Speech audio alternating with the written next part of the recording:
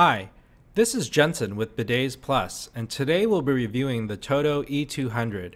The E200 is a mid-range offering from Toto, but still has the excellent build quality you'd expect from a Toto washlet. The E200 has a simple and classic look, with non-beveled edges around the corners of the lid. There's a small silver decal towards the rear of the unit which is stamped with the Toto washlet logo. There's also the remote control sensor receiver, which is the black square you see in the upper left part of your picture. Embedded with the remote control signal receiver, there are two LED indicator lights. The first light is the power indicator, and the second light is for the bidet's energy saving mode, which lights up whenever the bidet powers down to go to sleep. From this angle, you can see how the lid slopes down from back to front. You can also see there are no cords or hoses on this side of the unit. As with all Toto washlets, both the electric cord and water supply hose connect on the opposite side. Towards the back, there is a small control panel which can be used to operate the bidet without the remote control. Here's a close-up of the buttons.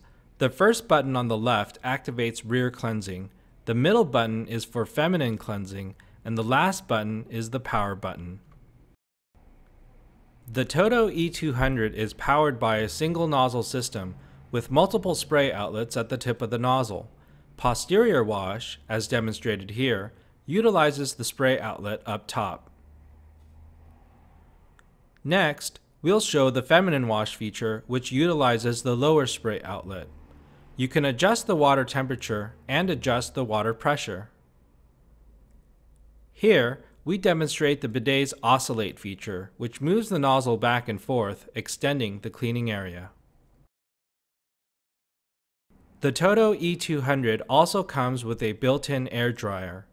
This helps dry excess water that might be remaining after your wash. The bidet also comes with a slow closing seat and lid that close softly on your toilet.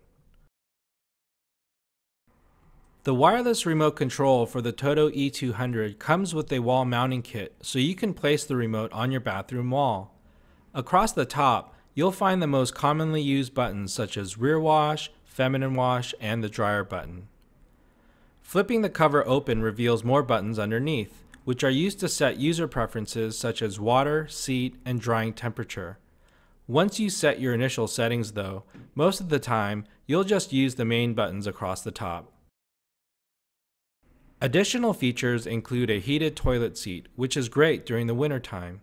During the summer, it's easy to turn this feature off. The bidet has a self-rinsing feature which rinses the nozzles with water before and after each use. And the programmable energy saving mode lets you set the hours of the day when the washlet goes to sleep. Thanks for watching this Bidets Plus video review featuring the Toto E200. You can also check out our full write-up on this model in the bidet review section on bidetsplus.com.